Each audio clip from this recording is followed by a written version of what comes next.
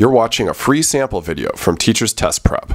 For videos like this one covering every area of your exam, visit us today at www.teacherstestprep.com. When we want to take derivatives, we've looked at a couple different ways of doing that. Most commonly, people have seen the power rule at this point. Um, and what we're going to see though in the next few slides is that there are other techniques for taking derivatives, and these get into some pretty complicated rules that many people memorize as they go into higher calculus studies. So the first thing is it says we're going to look at the chain rule. There are many rules for differentiation depending on the function. One method, the chain rule, applies to a function within a function, or a composition of functions. So if I have f of x is equal to f of g of x, then if I want to use the chain rule, here's how it works dy dx is equal to dy over du times du over dx. And here's an example.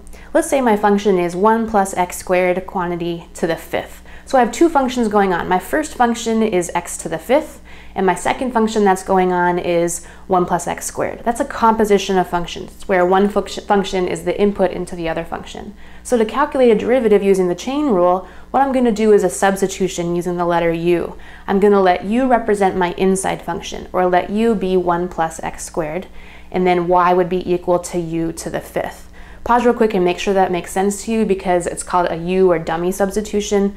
Um, that inside now, instead of being called 1 plus x squared, it's just called the letter u. So when I go to do the derivative, dy dx would be the derivative of u squared over du times the derivative of 1 plus x squared dx. And the derivative of u to the fifth would be 5u to the fourth multiplied by the derivative of u. Derivative of u with respect to x is, instead of uh, x squared, it's going to be 2x.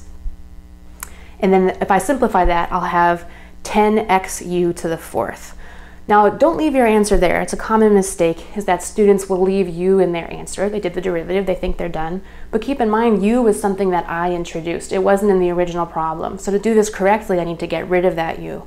Or I'll go back and instead of having 10xu to the fourth, more appropriately it would be 10x times the quantity 1 plus x squared to the fourth.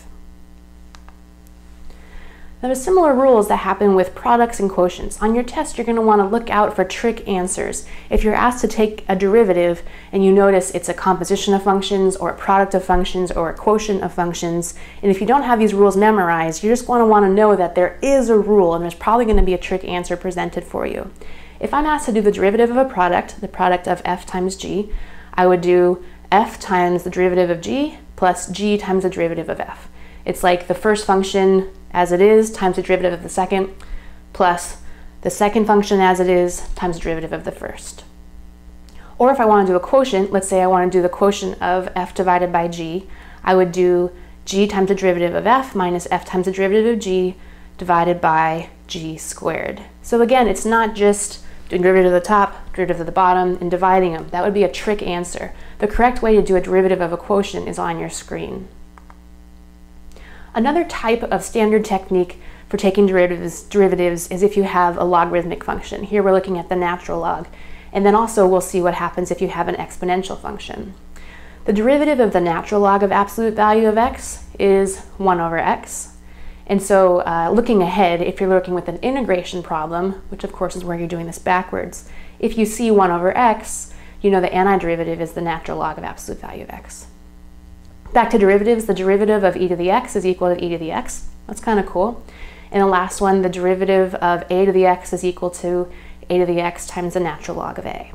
Again, these are rules that people might memorize as they go into higher level um, calculus studies. For you, you're going to want to be aware that there are some kind of trick answers.